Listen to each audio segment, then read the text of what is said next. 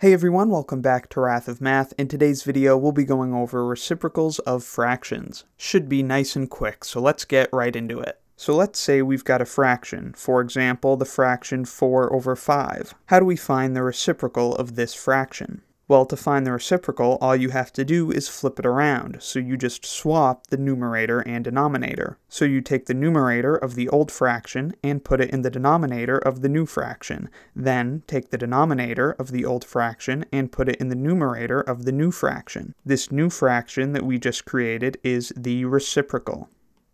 The primary importance of the reciprocal is that if you multiply a fraction by its reciprocal, you get 1. So 4 over 5 times its reciprocal, 5 over 4, is equal to 1. You can see that this is true because if we multiply these fractions, first we have to multiply across the numerators, giving us 20 in the numerator, and then multiply across the denominators, that's 5 times 4, giving us 20 in the denominator. So it's just 20 over 20, which is equal to 1. For another example, what if we had 3 over 2? What's the reciprocal of this fraction? Well, just swap the numerator and denominator, so it's going to be 2 over 3. Again, if we multiply these fractions, we get 6 over 6, which is just equal to 1. So the reciprocal of a fraction is just the number you have to multiply the fraction by to get 1 and you can find that number by flipping the fraction around, swapping the numerator and denominator. Now here's something important to point out. Let's say we have a fraction with 0 in the numerator, like 0 over 4. What do we have to multiply this fraction by in order to get 1?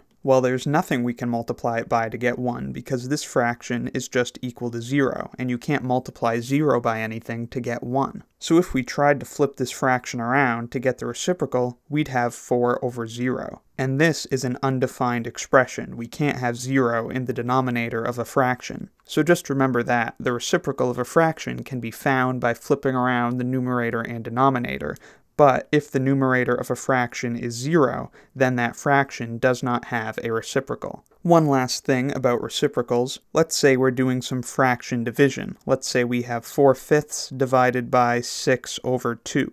Dividing 4 over 5 by 6 over 2 is the same as multiplying 4 over 5 by the reciprocal of 6 over 2. So this would be equal to 4 over 5 multiplied by the reciprocal of 6 over 2, which is just 2 over 6. Then this is going to be equal to 8 over 30, which is equal to 4 over 15.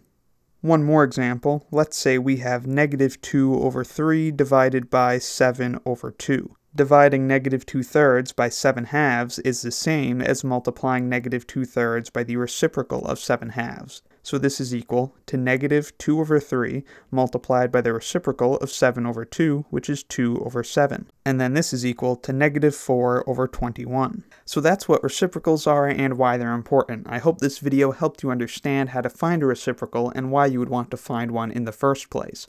Let me know in the comments if you have any questions, need anything clarified, or have any other video requests. Thank you very much for watching, I'll see you next time, and be sure to subscribe for the swankiest math videos on the internet and a big thanks to Vallow, who, upon my request, kindly gave me permission to use his music in my math lessons. Link to his music in the description.